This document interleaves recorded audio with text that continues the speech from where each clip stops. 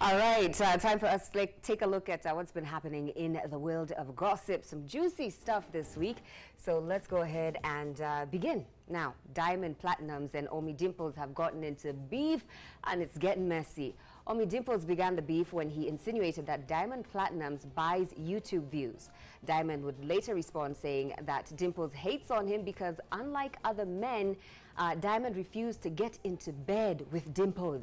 Omi Dimpoz now claims he wrote the lyrics of uh, Diamond's song Nasema Nawe and that Diamond began ignoring him when he saw that Dimpoz was fast rising. I told you it's getting messy, messy, messy over in Tanzania. All right, let's see what else uh, has been going on uh, this week.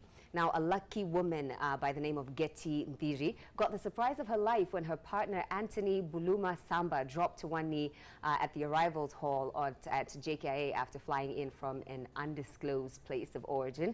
A group uh, comprising of family, friends, and colleagues carrying placards written, Getty, will you marry me? I received her at the airport. She tearfully accepted the proposal from Mr. Bulama, her longtime boyfriend. Photos of the airport proposal have since received massive approval by sections of Kenyans. Congratulations to Getty and her now fiance. You know, you got to do it big, guys. You Got to do it big when it's at uh, that special time. All right, moving on here.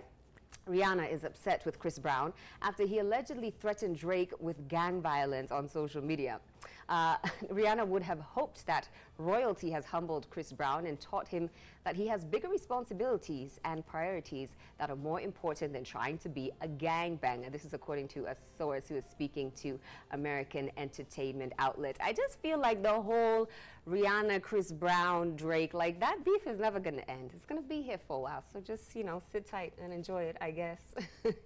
All right. Uh, and of course, uh, the office uh, of, uh, you know, uh, the, the, law, basically, Corazon Kwamboka is here. She is a brand new advocate. She was uh, inducted into, uh, uh, she graduated actually recently, and so she is now officially a lawyer in Kenya. She's going to be here on 10 over 10, and she's going to tell us more details about, you know, her brand new law degree. So stand by for that. Much more coming up on 10 over 10. If you want to hear more about these and other stories, please go to www.edaily.co.ke. Lots more entertainment, gossip, and celebrity buzz happening there. But right now, let's take a look at what else is coming up on 10 over 10.